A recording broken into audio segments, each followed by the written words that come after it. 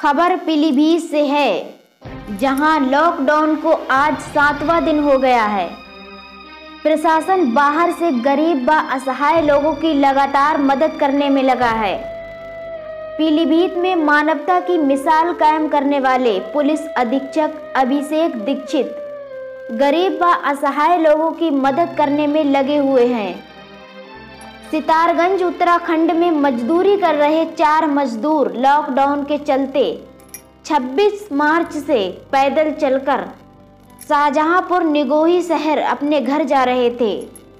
27 मार्च को समय लगभग दो बजे पीलीभीत पहुँचे और पुलिस अधीक्षक अभिषेक दीक्षित को फ़ोन कर अपनी आप बीती सुनाई। पुलिस अधीक्षक अभिषेक दीक्षित ने मजदूरों की परेशानी को देखते हुए पुलिस अधिकारियों को तत्काल मौके पर जाकर मजदूरों की समस्याओं को सुनने के निर्देश दिए।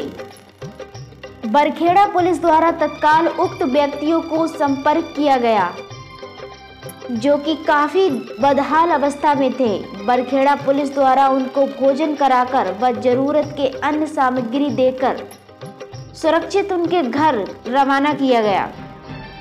मानवता की मिसाल कायम करने वाले पुलिस अधीक्षक अभिषेक दीक्षित ने आज फिर दूर दराज से आए सत्तर राहगीरों को खाना खिलवाया और उनको अलग अलग साधनों से बरेली, शाहजहांपुर भीरापलिया बीसलपुर पहुँचाया। इस वक्त पीलीभीत पुलिस प्रशासन लगातार तन मन धन से असहाय लोगों की मदद करने में लगा हुआ है। जिसकी तस्वीरें लगातार हमारे इस वीडियो के माध्यम से आप देख रहे हैं। कि किस तरह से पुलिस प्रशासन गरीब व असहाय लोगों की मदद करने में लगा है। इस संकट की घड़ी में शासन व प्रशासन की तरफ़ से लगातार मदद की जा रही है। सभी का दायित्व बनता है कि लॉकडाउन का पालन करते हुए लोगों की मदद करें, बेवजह घर से बाहर ना निकलें। और प्रशासन का पूरा सहयोग करें।